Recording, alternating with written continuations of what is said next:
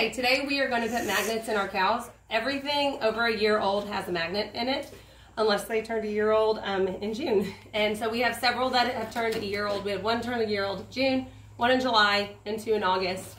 Um, a while back, we were at the vet. A couple years ago, we were at the vet, and since they already had one calf and a head gate, we said, "Can you go and put a magnet in her?"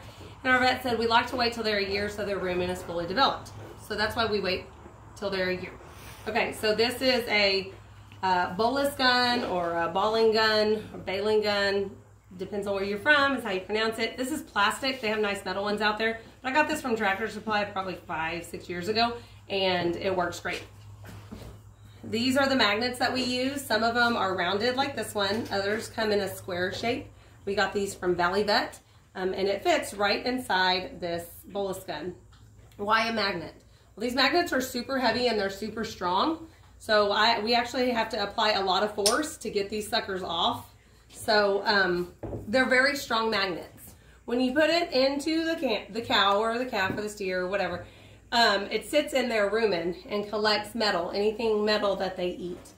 Um, from nails and screws to baling wire, which we've dropped baling wire in the pasture before, and it's they're really it's really hard to find.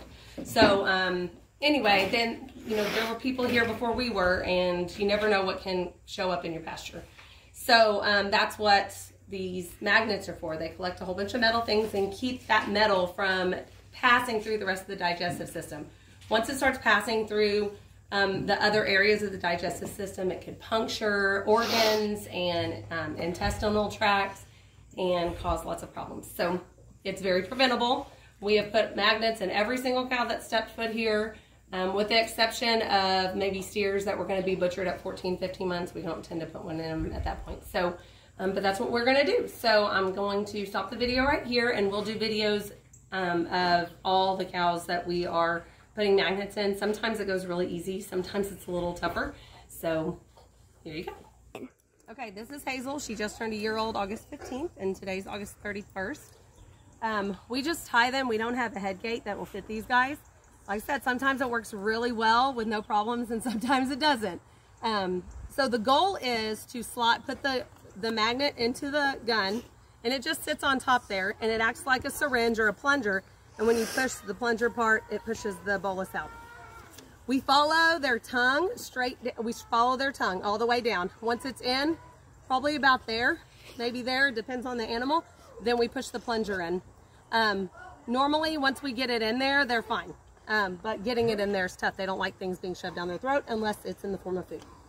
Okay, so here we go.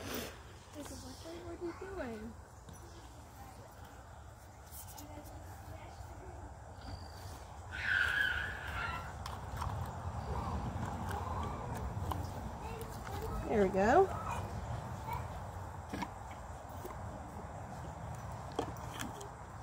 And sometimes I don't get it all the way down and they'll chew on it and spit it out but she did great.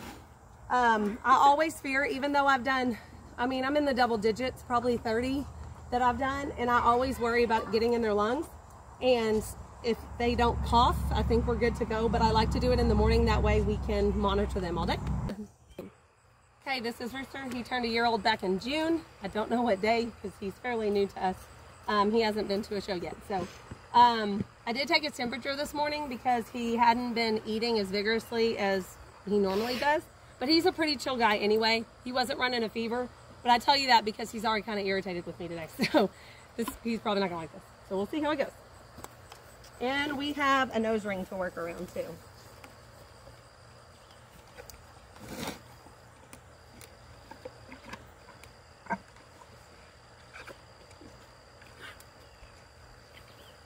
All done. There we go. Okay, last guy today. This is Rico. I think he's like July 17th. Again, he's a newer one to us. Um, he's a pretty chill dude too. We'll see how he likes this. He's obviously liking the scratches. Um, for what it's worth, we don't clean these between each cow. They all share the same water trough, eat out of the same food, and lick each other in places that um, not very clean. So we don't clean this between each one. Um, sometimes I will drop these and I do clean these off before I put them in. All right.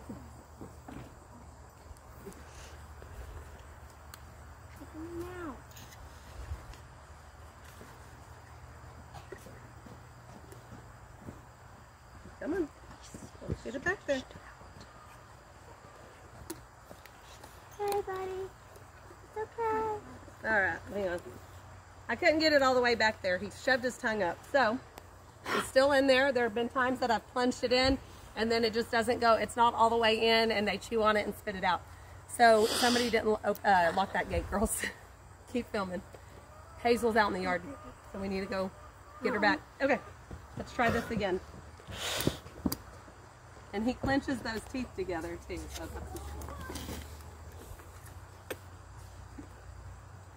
there we go.